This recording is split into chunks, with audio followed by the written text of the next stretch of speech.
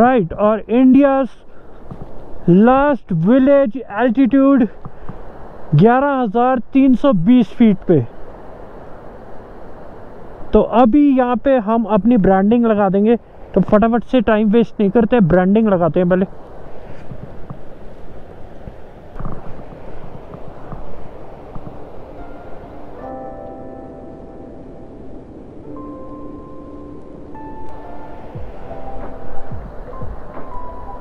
India's last village